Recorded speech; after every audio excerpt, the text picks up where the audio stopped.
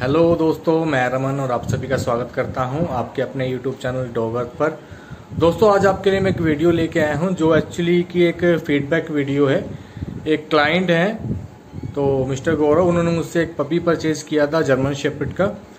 उन्होंने मुझे एक फीडबैक वीडियो सेंड की है। उस वीडियो के लिए मैं उनका बहुत ही आभारी हूँ। चलिए, मैं आपके साथ वो वीडियो शेयर करता हूँ। हेलो एवरीवन मेरा नाम गौरव है। और तो मैं अ, मुझे एक्चुअली एक ब्लॉग चाहिए था। और ये कोई ऐसा नहीं था कि एक साल या छः महीने से मैं तलाश रहा था। तो पंद्रह साल हो गए क्योंकि पहले तो चलो पेरेंट्स की वजह से हमने कभी रखा नहीं। उसके बाद थोड़ा स्पेस था स्पेस का इशू था तो उसकी वजह से कभी रखा नहीं। तो अब कुदरती बात ऐसा था कि जैसे कोविड नाइन्टीन की वजह से अ, मेरा मैं वैसे गुड़गांव में जॉब करता हूँ। उसके बाद फिर मैं यहाँ कुरुक्षेत्र रहने लग गया था अपने घर पे। तब वहाँ पे स्पेस भी घर पे काफ़ी ज़्यादा था तो उसके बाद मेरे ख्याल से मौका भी ऐसा मिला कि भाई साल के आसपास तो कंपनी का भी हमारा ऑफ़िस बंद था तो हमने सोचा कि ये शायद सही टाइम है कि हम अपने लिए ब्लॉग रख सकते हैं। तो फिर हमने तकरीबन कम से कम साठ, सत्तर ब्रीडर्स देखे और मैं खुद गया था, बल्कि कई सारे मैंने ऐसे भी देखे जो एनिमल्स डॉक्टर्स थे, जो उनके पास भी हमने कुत्ते देखे, लेकिन उनकी केयर नहीं थी। तो आप यकीन मानोगे कि जो डॉक्टर थे, वो भी एक उनको वो भी चालीस चालीस, तीस तीस दिन के कुत्तों को ऐसे सेल के लिए बेच रहे थे। हालाँकि वो वैलिड नहीं है। हालाँकि काफ़ी सारी कंट्रीज़ में तो खैर बैन ही है। बट फिर भी तो फिर ऐसे ही भाई ने भी काफ़ी ज़्यादा सर्च किया। तो ऐसे करते करते तो भाई को रमन है हमारे यहाँ पे, जिनका यूट्यूब चैनल है डॉगर।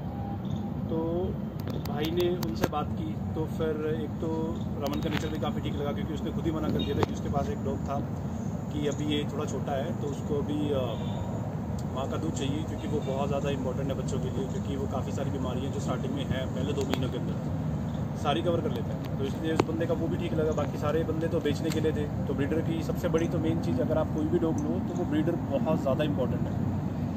डॉग की ब्रीड ठीक है बट डॉग की ब्रीड के बाद जो मेजर काम है, वो है ब्रीडर का, क्योंकि आज इसको बिज़नेस लोगों ने बना दिया है डिफरेंट डिफरेंट ब्रीड्स के कहीं मिक्स कर दिया, और जो पेरेंट डॉग होता है, उसकी वजह से जितनी भी बीमारियाँ हैं तो वो सारे काफ़ी सारे इश्यूज़ क्रिएट करती है। तो फिर भाई ने रमन से बात की। तो रमन से बात करके उसने जो डॉग दिखाया था तो उसने बोला कि मैं अभी आपको बेचूँगा नहीं, क्योंकि अभी ये छोटा छोटा है तो आप इसको महीने बाद आना। अब देखो, अगर ब्रीडर में लालच होता तो वही भी बोल देते कि हाँ यार, मेरा तो कुत्ता बिक रहा मैं बेच दूँगा। तो फिर काफ़ी टाइम हमें, हमने भी फिर सोचा था कि हमें ठीक लगा डॉग भी हमने देखा ठीक लगा। तो उसके बाद काफ़ी हमने मतलब अप्रॉक्सीमेटली जब वो दो महीने का हो गया था तो हमने डॉग लिया था रमन से।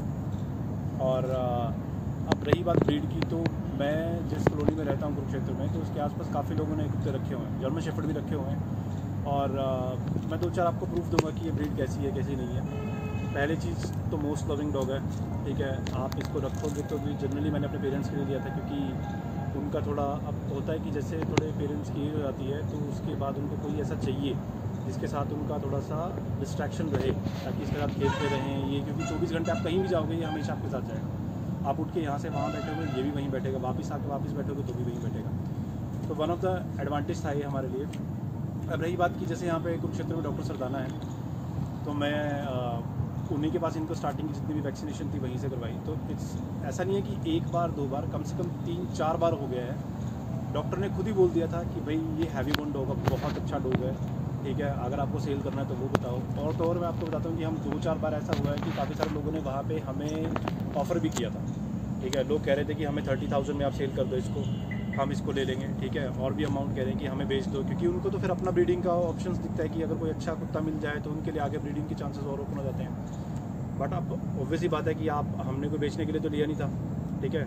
तो अब ये एक एग्जांपल ऐसा है, हम कहीं भी जाए, चाहे हम अपनी कॉलोनी में भी जाएँ, वहाँ भी मैंने काफ़ी सारे कुत्ते देखे हैं, उनकी अगर आप हड्डियाँ देखोगे तो ऐसी ऐसी हड्डियाँ होती है, इतनी पतली पतली ठीक है?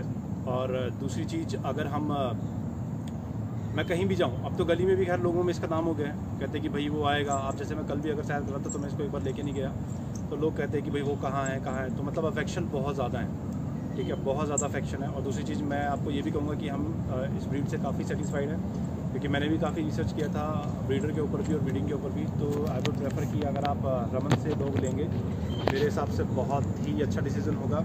आपके सामने लाइव एग्जांपल अगर आप इसकी ब्रीड देख लो इवन डॉक्टर ने भी बोला हुआ है कि भाई इसकी ब्रीड बहुत अच्छी है। डॉक्टर से बेटर कुछ नहीं कह सकता। तो और काफ़ी सारे लोगों ने भी हमें बोला था कि भाई हम अगर इसको की खरीद लें, लेकिन हम ऑब्वियसली बात बेचेंगे ये देख। छः महीने का है, सिर्फ़ छः महीने का। आएगा।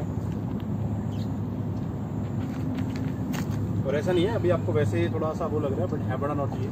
सारा दिन खेलता रहेगा, सारा दिन। और दूसरी चीज़, एक और चीज़ मैं आपको बताऊँ कि रात को अगर हम कभी भी, हमने कभी इसको कुछ सिखाया नहीं है, अगर हम जैसे रात को सोने के लिए कभी भी लाइट ऑफ़ कर दें, जैसे मेरे रूम में सोता है हमेशा, ये आपको कभी डिस्टर्ब नहीं करेगा, कभी भी। हमेशा लाइट ऑफ़ हो गई, इसको पता लग गया कि आप सो रहे हो तो ये भी चुपचाप, चाहे जितना मर्ज़ी खेल रहा हो प्लेफुल है काफ़ी और चुपचाप जाके सो जाएगा ना ही कभी इसने डिस्टर्ब किए दिन में हो, सुबह हाँ थोड़ी सी शरारतें करेगा, वो तो वैसे भी सबको चाहिए होता है, अब तो घर वालों को अच्छा भी लगता है। और एक और चीज़ हमें लगा था कि स्टार्टिंग में हमें लगता था कि जैसे हम जिस दिन डॉग लेके आए तो उसके दिन इसके कान खड़े हो जाएँ, ये हो जाए। तो मेरे मन में डाउट आया कि भाई इसके कान खड़े नहीं हो रहे थे स्टार्टिंग में। तो फिर मैंने सोचा कि क्यों ना डॉक्टर से कंसल्ट करूँ। तो मैंने फिर दो तीन डॉक्टर से कंसल्ट किया। एक चंडीगढ़ थे मेरे, कुछ नॉन में, और एक मैंने यहाँ भी डॉक्टर से कंसल्ट किया। तो उन्होंने बोला कि जो कुत्ता जितना हेल्दी होगा, उसके ईयर उतने ही लेट खड़े होंगे। ठीक है, ये भी आपको काफ़ी सारे मैं एग्जांपल्स दे चुका हूँ। खून का बता चुका हूँ, और इसके कान का बता चुका हूँ। दूसरी बात, इसकी हैबिट्स का बता चुका हूँ। तो मेरे हिसाब से बहुत अच्छा वो है। कलर देख लो। कलर भी बहुत अच्छा है। अभी तो वैसे भी इसके कलर और चेंज होंगे। अभी जैसे यहाँ पे इसके थोड़े से मिक्स कलर आ रहे हैं। इसके तीन चार कलर अगर आप देखोगे।